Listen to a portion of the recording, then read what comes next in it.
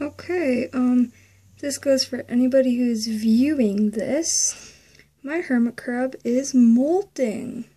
Um, but as you can see, that is all of his excess shed.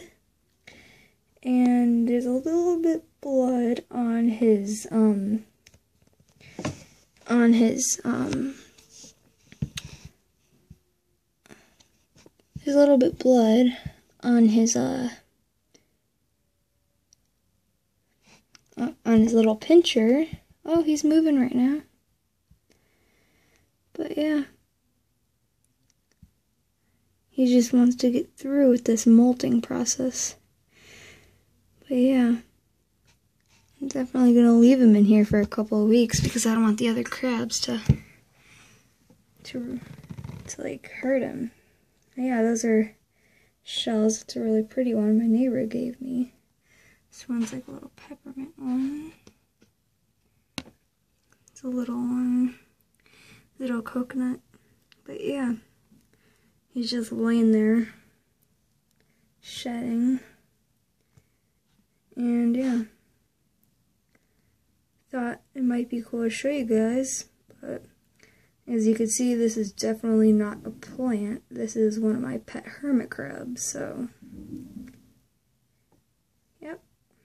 I'll be posting more videos as he recovers, so make sure you comment, rate, and subscribe to my channel.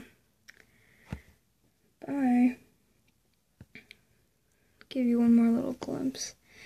And when he's done shedding all this, I will be taking the shed and I will be probably making a video about it.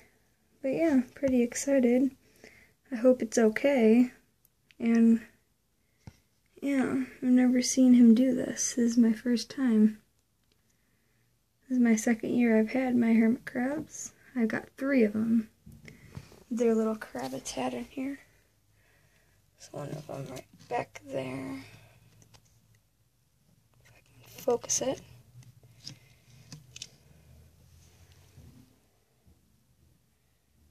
His name is Ray. He's one of my most active as hermit crabs. And one of my most fastest. As you can see, he likes to race. But yeah. I usually have sticks and everything, as you can see right there. In there, but I can't put them in there with this thingy in here, but yeah, comment, rate, and subscribe. Oh, and just comment anything you think I should do. Yeah, but, hmm. Sorry to make me cool show you guys. Thanks for watching.